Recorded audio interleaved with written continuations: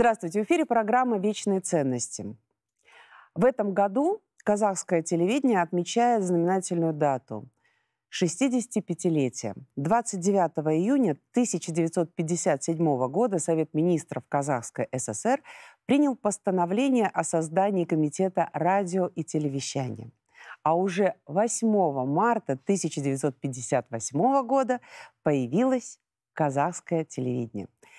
И сегодня со мной в студии ветеран нашего телевидения, журналист, заслуженный деятель Республики Казахстан Фируза Абдыкадыровна Перзадаева.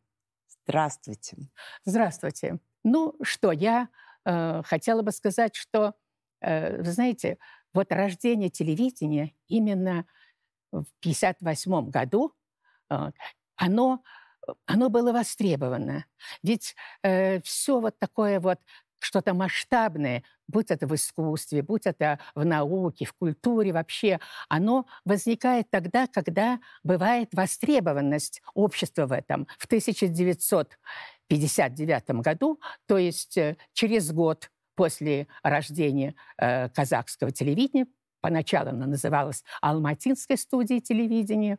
И потом уже, когда у нас возникли первые, так сказать, телевизионные студии в областных центрах, оно стало называться казахским. Тогда состоялась декада э, казахской литературы и искусства в Москве. Это был, конечно, грандиозный совершенно показ казахской культуры и литературы, и искусства. По результатам этой декады э, семь лучших так сказать, выдающихся наших деятелей искусства, они были удостоены звания «Народный артист СССР». В их числе это Мукан Тулебаев, автор «Бржан Сара» оперы, э, Ермек Саркибаев, Роза Жаманова, э, дальше Халибек Куаншпаев, Букеева, Диордев, Харламова.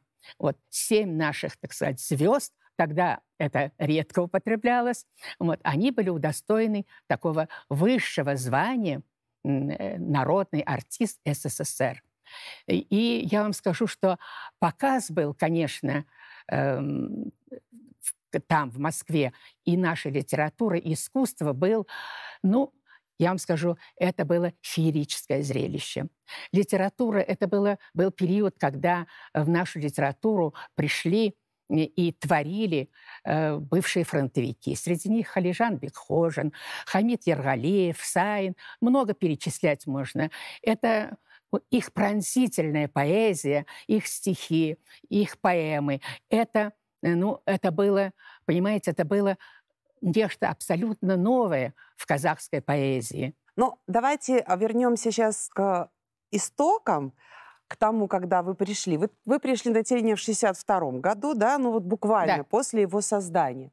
И в, в одном из своих, э, своих интервью вы назвали то время каменный век телевидения. Когда я пришла, это было уже 4 года. Ну, 4 года — это э, все-таки возраст младенчества.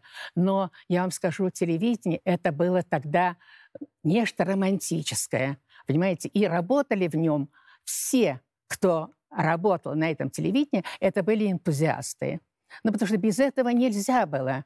И я вам не скажу, что они были все высокопрофессиональные. Ну, тогда вообще откуда? Нигде еще не обучали телевизионному искусству, будь то там, это, знаете, э, режиссер или там оператор. Режиссеры приходили у нас из театра, кинооператоры приходили из киностудии «Казахфильм». Вот. Ну, вот только журналисты, они были более или менее, имели возможность быстро адаптироваться. Ну, потому что слово, оно везде слово. Конечно, на телевидении оно имеет свое, свою особенность, свое своеобразие. Если в газете, в журнале можно только писать, понимаете, то здесь надо смотреть, так сказать, в глаза зрителю, надо общаться. В этом была, конечно, сложность. И тот, кто выходил в эфир, ну, много журналистов работало за эфиром, потому что надо было писать. Вот. Но те, кто работали в эфире, они, конечно, должны были быть э, очень органичны, очень искренние. Понимаете? И то есть э, тот, кто сидит на той стороне, то есть зритель, он должен был верить каждому слову. Понимаете? То есть ну, фальш на телевидении очень хорошо как-то просматривается, ощущается. И зритель уже как-то он теряет интерес, потому что у него нет доверия к этому. Но я вам скажу, что телевидение казахское уже даже в первые годы, тогда проходили такие, знаете, смотры, всесоюзные смотры каких-то программ, и э, казахское телевидение всегда участвовало. Я помню где-то, ну, может быть, это был э, шестой год, так сказать, существования телевидения, когда в Эстонии проходил какой-то всесоюзный смотр, и там наша программа, сейчас не буду называть какая, не помню, по-моему, молодежная какая-то программа, она удостоилась первого приза. Кстати, была признана самой лучшей из всех вот молодежных программ, которые там демонстрировались. Вот. Так что я вам скажу, что даже э, в самом начале, в период, так сказать, становления, еще даже не развития, все-таки казахское телевидение делало успехи. Но, наверное, это еще была одна трудность а, того, что это был прямой эфир. Записи же не существовало. Здесь вообще права на ошибку не было. Конечно. Конечно, это то, что мы называли живьем, выходить живьем. Но все было в живье. А иначе как? У нас тогда это уже несколько позже появились уже те бобины, о которых вы говорили до передачи. А до этого нет. Это был либо ПТС с места события, там театральные какие-то концертные программы демонстрировали, либо это была, была студийная передача. И вы знаете, даже э, я помню, наша вот литературно-драматическая редакция, она даже ухитрялась сделать теле, телевизионные пьесы понимаете, показывать. То есть все живьем. Я помню, актеры стояли в очереди вот в той нашей старой студии АСК-1, э, в большой и в малой студии, потому что оттуда шли какие-то эпизоды, какие-то монологи, скажем, то есть большой, где шли уже какие-то театральные сцены. Так что работали. Вот, вот это я называю энтузиазмом. Конечно, иначе, ну, а иначе как это назовешь? Вот. Люди работали, так сказать, ну, день, ночь, э, какое время суток, да потому что тогда, когда можно было это делать, тогда и работали. Вот. Ну, а со времени, вот с первого дня становления телевидения, конечно, звездами становились дикторы. Я помню первых дикторов нашего казахского телевидения, еще алматинского. Это Неля Умарова, эм, Совет Мазгутов, который вел на казахском языке. Потом появлялись уже новые. Так я вам скажу, что, ну, прежде всего, это люди, которые должны были обладать чисто человеческим обаянием. Понимаете? Вот это было и у Нели у Амарова это было в избытке. И это было и у Совета Мазгутова. То есть их зрители, по-моему, сразу приняли Понимаете, они приняли их, они стали у них как бы своими людьми, стали, ну, они пришли вот в буквальном смысле слова, пришли вот в каждую семью как еще один член этого семейства. Да, потому что их любили, им верили, и э, никто никогда не думал о том, что вот они говорят там по написанному или э, что все это, так сказать, чисто так. Это, знаете, исполнительская такая должность. Совсем не так. Вот. Но кроме такого человеческого обаяния, конечно, они обладали вот тем качеством, о которых я говорила, это вот какой-то вот искренностью. Даже там, когда надо было просто объявить программу передач. Тогда еще даже не печатали в первые годы, а диктор объявлял программу вот сегодняшних передач. Потом в конце э, программы, так сказать, вообще дня телевизионного, на завтра. Вот. Даже там все-таки надо было, чтобы... Ну, это, это посильно тоже не, не каждому человеку. Вы знаете, даже пусть он будет актер, он будет, так сказать, и выглядеть хорошо в эфире, но это не главные качества. Не главное. Но то же самое было Все... и с новостями, да, чтобы преподнести новости, которые были официальными, и чтобы люди да. их слушали, это нужно было иметь и свою эрудицию, и образование, да, образованность. И, конечно, вот это умение передать так, чтобы человек по ту сторону экрана, как вы говорите, все это прочувствовал и понял что хотели донести до него авторы Ну, вы знаете, э, в новостях, во-первых, диктор должен быть человеком, который имеет свое личное отношение к каждой информации. Пусть это будет закадровый текст, то есть когда он сюжет, либо репортаж какой-то озвучивает. Пусть это будет, так сказать, э, то, что мы называем э, такой вот заметкой, и то, что диктор читает уже непосредственно, так сказать, в камеру. И там нужно было отношение диктора к этому материалу, потому что это, каждый материал это было событие. За этим стояли люди, какие-то, э, понимаете, вот э, что-то то, что произошло в масштабах республики, в масштабах города, в масштабах какого-то предприятия. И у диктора должно было быть просто человеческое отношение к этому. А без этого это уже непрофессионально. Непрофессионально, и это уже, конечно, э, то, что э, ну, неприемлемо для телевизионной камеры. А для... А как быстро развивались редакции? То есть появление редакции, оно происходило? То есть уже э, когда телевидение стало зрелым, а, была и литературно-драматическая редакция, и новостная редакция, и молодежная редакция. А вот в начале это же был совершенно небольшой коллектив, который, в принципе, закрывал там несколько часов эфира, но тоже на совершенно разные темы. Как это все формировалось? можно долго говорить, ну и можно, так сказать, коротенько сказать об этом. Ну вот на примере я работала большую часть э, вот этих вот 40 с лишним лет я посвятила информационной программе. И я уходила на какое-то время, уходила в литературно-драматическую редакцию, это когда у меня родился сын, и я просто не в состоянии была э, работать на, на новости. Вот.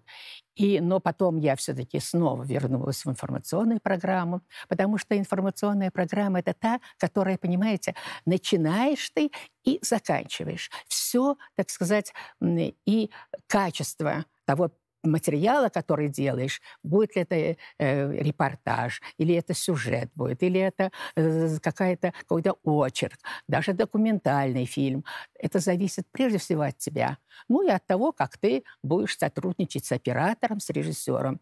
Вот. Потому что телевидение — это такое э, искусство, и такое средство массовой информации, которое делается не, не единолично, а коллективно. Вот.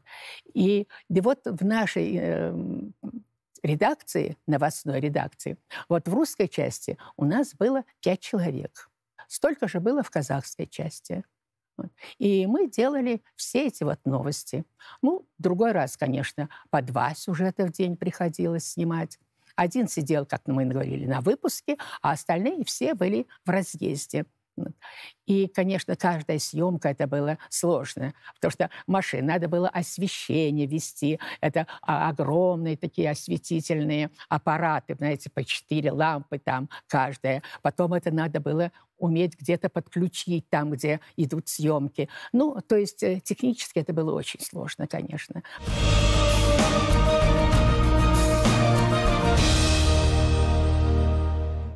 На ваш взгляд, сегодня нужно ли вводить цензуру, потому что этот вопрос э, поднимается все чаще и чаще.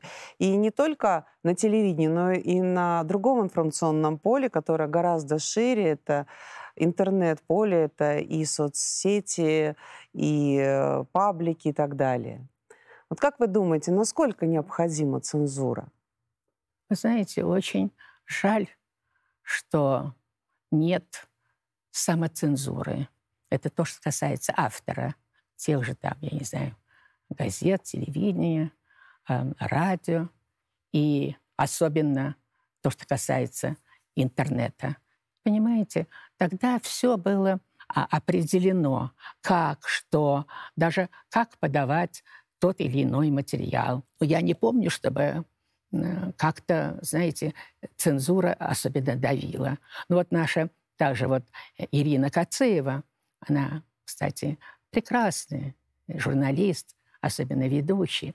Так она работает в кадре. Ведь в кадре трудно работать. Знаете, это не каждый, даже самый блестящий журналист не может в кадре работать. Понимаете, вот так, как он бы просто вот писал, скажем. Ну, органично. Или, Ирина действительно да, смотрелась, она, она, она говорила, была, как пела. Да, она была... Так вот, ну, Я она... Вы знаете, она делала такие острые материалы. Я помню, что как-то она вот, с, э, как не, не, не, невозможно было записать кого-то, я не помню уже из наших чиновников, ну, городского масштаба, наверное, понимаете, и что-то казалось, касалось, по-моему, э, строительства и э, получения жилья и так далее. Ну, в общем, это очень острый вопрос. И я помню, что она тогда, она просто с оператором, с камерой, она встала возле значит, офиса, как мы сейчас называем, или вот конторы э, того чиновника, где он располагался, и сказала все, что она по этому поводу думает. Вот. И, конечно, здесь надо было, чтобы просто он, конечно, был диалог. Вы уже упомянули о том, что а, когда вы пришли на телевидение, это было такое очень историческое время для казахской культуры. Да. И а, вы, проработав более 40 лет на телевидении, снимали очень много интервью, а, очень много репортажей. Вот немножко расскажите о своей работе, потому что, ну, перечень имен, с которыми и тех людей, с которыми вы общались, и тем более в 60-е годы, годы вот расцвета, как вы сказали, казахской культуры. Да. Да. Это было, конечно, удивительно. Это был, это был расцвет. Это было какое-то, понимаете, вот время вот взлета, вот, взлета казахской культуры. А вот это с было, чем это связано, вот, как вы думаете? Наверное, это связано, во-первых, это было уже послевоенное время. Прошло 10 лет, 45-й, 55-й, и еще там, ну, 8-10 лет прошло уже после войны, понимаете? И ну, всегда говорят, что, конечно, военное время и послевоенные годы первые, это были очень трудные годы, что говорить об этом. Вот. Но как э, сейчас уже это распространено, вот, говорят, что трудные времена рождают сильных людей. И вот эти времена, они рождали именно вот очень сильных людей, духовно сильных людей, людей, которые были, э, э, понимаете, если это были, так сказать, деятели искусства, то они отдавались своему искусству, так сказать, безраздельно. То есть это, это были люди, которые не ради там э, славы, не ради денег. Это были люди, которые, ну как вам сказать, это были подвижники своего дела – но вот тогда вы были в центре этих событий, да, вы вели программу, вот вы говорили о Днях культуры Казахстана, да, в Российской Федерации. И вы же вели репортажи, делали программы, и вели вы, по-моему, с Лжас Умаровичем, да, и сколько интервью вы брали, какие люди были вашими собеседниками?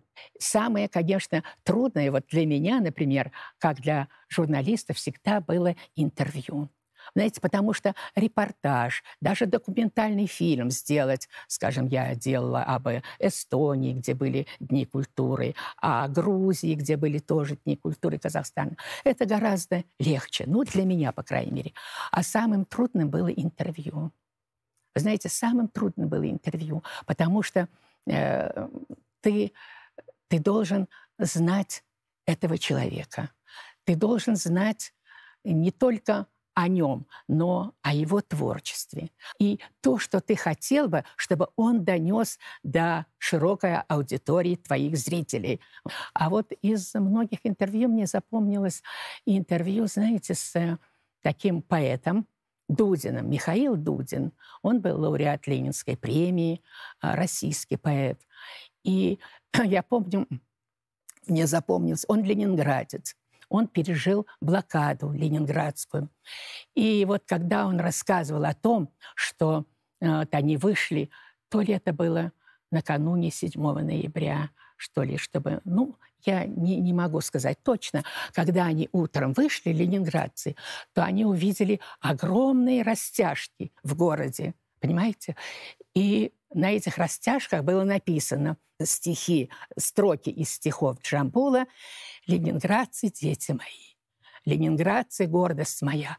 И когда он рассказывал об этом, просто, понимаете, человек, который пережил это, он ну, понимаете, это и э, в его глазах, это в его голосе, это, э, это во всем, э, понимаете, во всем вот, во всем человеке. И это было, это интервью мне вот так как-то вот запало в душу и запомнилось. Знаете, это... Ну, а другие много было, потому что, вы знаете, я вам скажу, что э, деятели искусства, именно вот артисты, композиторы, э, даже, так сказать, в балете, кто работает, э, это были очень интеллектуальные люди. А как с Алжасом Маровичем работалось? С Алжасом Марчем?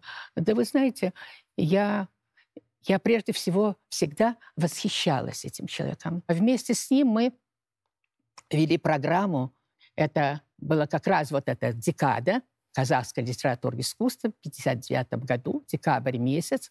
Вот, и мы с ним были, я была его соведущей. Мы вели это заключительный концерт это был. Вот. Ну, он, конечно, э, читал свои стихи, по ходу, кстати, видения.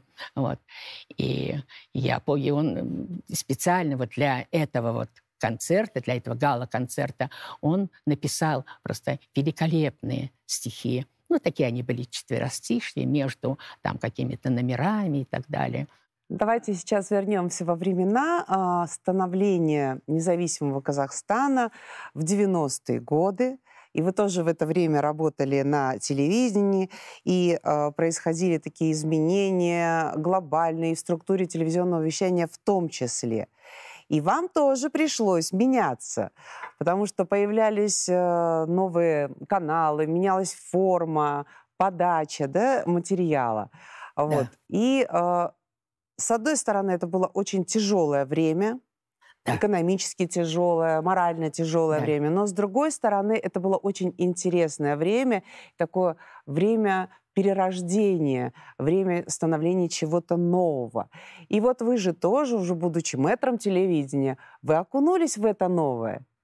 И Мне вы кажется, тогда делали авторскую программу свою с в годами. То время. И я... Это была одна из первых коммерческих программ а, вот. нового совершенно формата. Вы знаете... «Утро делового человека», да, по-моему, я, называлось? Э, да, и тогда я познакомилась с многими нашими вот только-только начинающимися, начинающими бизнесменами. Ну, тоже это были, тоже были энтузиасты, что там говорить, потому что это нелегко было. И главное, это было очень рискованно очень рискованно. Вот. И, э, но это было новое, это увлекало, это э, ну, это, думали, за этим, за этим будет будущее. Ну, действительно, конечно, за этим было будущее. Вот. Потом мы сделали программу такую САПА, потому что вот когда я работала с э, бизнесменами, много было звонков и даже писем. Тогда, между прочим, телезрители, они не ленились, они звонили, писали много, что вот такой-то вот бизнес, скажем, тот, кто делает, скажем, э, диваны там, угу. или вот выпускает там это это сырые там, понимаете, то есть качество. Да, и САПа мы уже занимались, mm-hmm. занимались качеством, понимаете. Там мы работали с госстандартом, со, со станцией, эпидемстанцией, то есть, э, ну, со многими, те, кто могли дать оценку. Вот. Тогда же мы ввели такую вот так называемую э, дегустацию, э, потребительскую дегустацию. И потом, по-моему, она возникла вот в московских программах. Вот я сейчас вижу, знаете, но до этого я не видела видела. Это вот у нас это было вот. По-моему, мы Вот я говорю, мы получается, пионеры. что вы везде, да, пионер, первопроходец. Мы... Как должно меняться сейчас, уже назовем, классическое телевидение для того, чтобы сохранить эту аудиторию телезрителей и привлекать голубым экраном молодое поколение? Вот шли споры, что такое телевидение? Это искусство или это средство массовой информации? Так же, как шли тогда споры между лириками и физиками, что, так сказать, первично у нас э, духовное или вот э, именно Правильно. наука, физика там. Вот, так что, э, ну, э, интернет, вы знаете, я редко смотрю интернет, потому что многое, что есть в интернете, на мой взгляд, надо делить э, даже не на два, а может быть на 5, а иногда и на 10. Ну, что касается телевидения, вы понимаете, когда смотришь любую программу и после этого думаешь, а что я, вот на что я потратил время? Я убил это время просто или все-таки что-то запало мне в душу от того, что я увидел, от того, что я услышал. Но вот, знаете, очень бы хотелось, если вот в общем сказать, что от каждой программы, от каждой передачи, которую ты видишь, чтобы что-то у тебя запало в душу, о чем-то ты задумался, понимаете? Что-то вот, что-то для тебя стало то, что было не совсем, может быть, э, понятно, ясно, оно стало более э, доступным, стало более понятным. Вот. Ну вот, ну, может быть, я говорю немного сумбурно и не очень, так сказать, мало конкретики в этом, но я вот так ощущаю. И мне кажется, что на телевидении должно быть больше программ, знаете, о культуре, о литературе, об искусстве, о музыке, о балете. Должны быть, они должны быть э, и в какой-то степени познавательны это должна быть и оперное искусство. И э, я помню, когда еще до того, как я стала штатно, что называется, работать, я делала для телевидения несколько программ, таких вот, как «Танцует молодость» о балете нашего оперного театра, о казахской государственной капелле. Это потому что первое... Но здесь я вас вот. могу обрадовать, и... потому что именно вот телеканал «Абай» Это да. и есть телеканал о культуре, который сейчас возрождает вот эти традиции и который старается охватить в своем программинге абсолютно вот все сферы нашего культурного и научного развития. И я бы хотела еще сказать, знаете, все-таки э, Казахстан — это первое телевидение, это первая ласточка. Первое — это, понимаете, это ну вот, э, скажем, если сопоставить, вот Юрий Гагарин, он полетел в космосе час 20 минут. После этого люди выходили в открытый космос, они на Луну приземли, прилунились, они были прямо годы, э, так сказать, э, в космосе. Но остался и останется на века имя Юрия Гагарина, потому что это первый. Вот студия наша, телевидение «Казахстан», под названием, это было тоже первое. Это было первое. И поэтому мне кажется, что к нему и отношение должно быть достойное. Дорогие друзья, сегодня у нас в гостях выдающийся журналист, наставник и профессионал своего дела Фируза Абдыкадыровна Перзадаева. Мы разговаривали о нашем любимом казахском телевидении в программе «Вечные ценности». Я напоминаю, что вам, чтобы вы не забывали смотреть нас на официальном сайте YouTube-канале Абай ТВ. Увидимся.